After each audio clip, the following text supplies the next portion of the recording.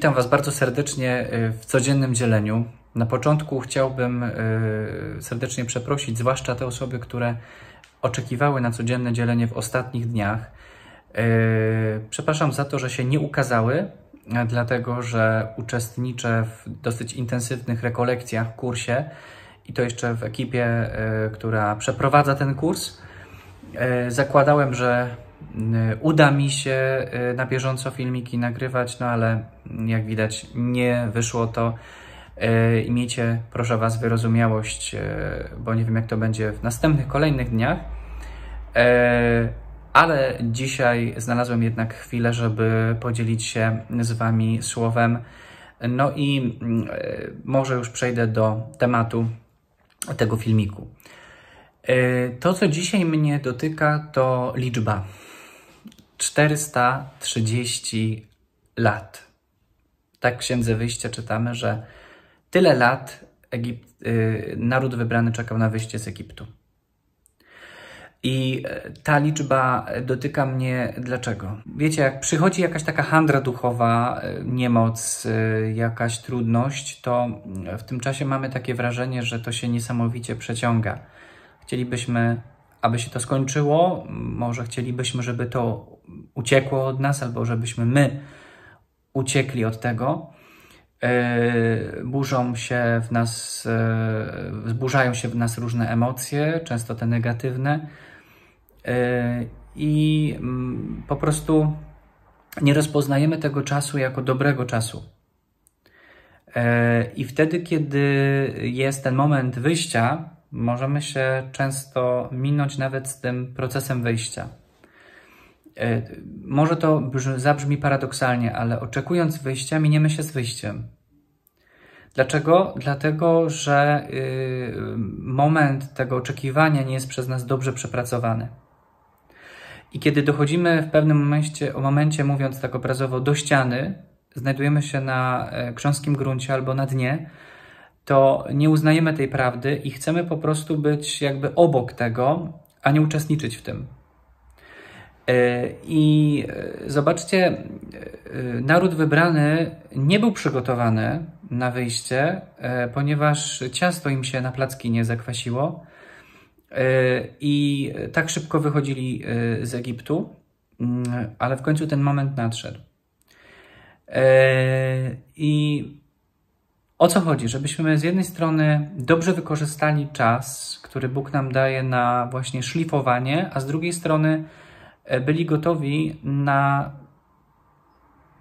wyjście, na wyjście z sytuacji, która nas dotyka. Czyli z jednej strony e, pozwolili na kształtowanie się, rzeźbienie przez Pana Boga, no i druga sprawa, e, rozpoznali czas tego nawiedzenia, czas tego wyjścia i czas wyzwolenia i w odpowiednim momencie właściwie zareagowali. E, myślę, że e, jak oglądasz ten film, to może masz takie właśnie takie pragnienie w sercu, Panie, wyzwól mnie z jakiegoś ciężaru, wyzwól, wyzwól mnie z jakiegoś lęku. Kto nie jest od tego wolny? Prawda jest taka, że żyjąc w dzisiejszych czasach, także w tym pandemicznym czasie, zadajemy sobie mnóstwo pytań, mamy różne trudności, nie dosyć, że rodzinne, osobiste czy społeczne, to jeszcze właśnie te związane z pandemią. E, zadaj sobie dzisiaj takie pytanie, e, co by było, gdyby Bóg dzisiaj, w tym momencie, w którym jestem, zaprosił mnie do wyjścia? Czy byłbym już gotowy? Czy przepracowałem w sobie te rzeczy, które wymagają e, no, przepracowania?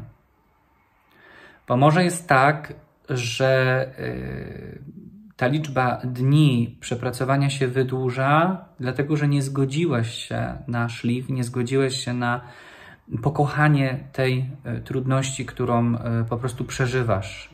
To znaczy nie pokochanie na tej zasadzie, och, jak mi przyjemnie, chociaż jest mi nieprzyjemnie, ale zgodzenie się z tym krzyżem, przyjęcie krzyża po prostu. Na zasadzie, Panie, przyjmuję to, nie chcę buntować się przeciw e, temu, e, nad czym nie jestem w stanie w tej chwili przejść, tak? Pomóż mi w tym doświadczeniu. Uwierz mi, że pomóż mi uwierzyć, że Ty możesz zdziałać wszystko. to jest ważne, dlatego że akceptując w sobie braki, trudności, jesteśmy w stanie wtedy zawołać do Boga: Panie, to nie ja potrzebuję e, tutaj swojej mocy i siły, ale Twojej. I w momencie, kiedy my zgadzamy się na to, by przyjąć e, to cierpienie na zasadzie wzmocnienia, e, Bóg często zrywa nasze kajdany i doprowadza nas do wyjścia z jakiejś trudnej właśnie sytuacji. E, kilka dni temu miałem też w sobie taką niemoc, taką trudność w sobie.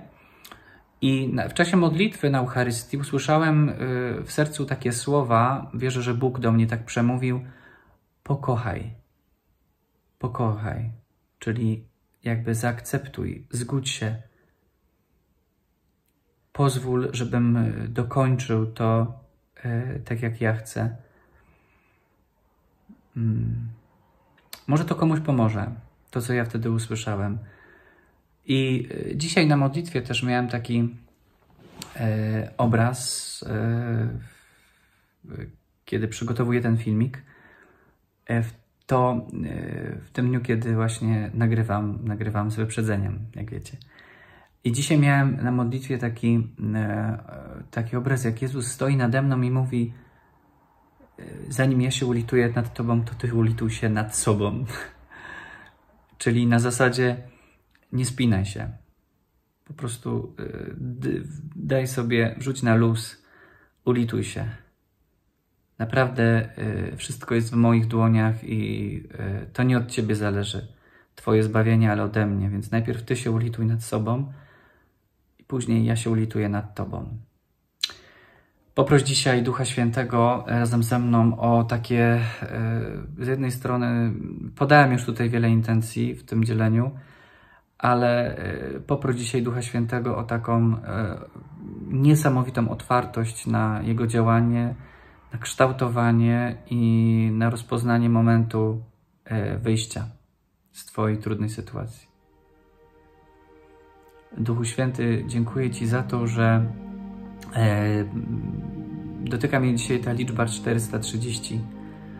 Nie wiem, e, jaka będzie e, liczba czy moich dni, czy dni moich braci i sióstr, którzy teraz oglądają ten filmik, tego szlifu, tego oczekiwania, tej przemiany wewnętrznej, która zakończy się tym wyjściem z niewoli. Proszę Cię, abyś dał nam skrócił nasze dni właśnie niewoli, e, a z drugiej strony niech się dzieje Twoja wola. Jeżeli potrzebujemy e, dłuższego czasu szlifu, to chcemy się na to zgodzić, bo wiemy, że Ty jesteś Panem i e, że to Ty decydujesz w związku z naszym życiem. Jak to ma wszystko wyglądać? Bądź uwielbiony w tych sytuacjach, których wierzgamy, nie zgadzamy się na szlif i daj nam odkryć ten moment, kiedy w końcu nas zawołasz i powiesz: wyjdź, daj Ci wolność, chcę Cię uwolnić z jakiejś e, rany, trudności, braku. Przyjdź Duchu Święty i działaj w nas tak, jak Ty chcesz. E, I nie pozwól, żebyśmy programowali, jak to ma wyglądać z naszej strony. Bądź uwielbiony Duchu Święty i przyjdź do nas. Jezus, baw nas. Amen. No moi drodzy, myślę, że to dzielenie dzisiejsze y, z jednej strony takie bardzo osobiste moje, a z drugiej strony takie dla Was może być bardzo y, dotykające. Myślę, że tak jest. Podzielcie się w komentarzu, jak Wy przeżywacie Wasze, y, wasze takie trudności duchowe. Pewnie wielu z Was napisze, że woła do Boga, tak? Na zasadzie właśnie zbaw mnie, Panie Jezu, Ty się tym zajmij ale może ktoś z Was napisze jakąś taką sytuację, jakieś krótkie świadectwo na zasadzie yy, długo z czymś walczyłem, nie rozumiałem tego, co Bóg ze mną robi, aż w końcu otworzyły się drzwi i mogłem wejść na wolność i doświadczyć takiego świeżego powiewu ducha. Yy, dostałem pokój w sercu. Może konkretnie nazwiesz coś, yy, z czego wyszedłeś, albo co Bóg pozwolił Ci zobaczyć w sobie Zapraszam. Aktem strzelistym, modlitwą taką na dziś do powtarzania, może też przez najbliższe dni, niech będzie zbaw mnie. Jezus, zbaw mnie. Czyli wyzwól mnie, uwolnij mnie, daj mi wolność.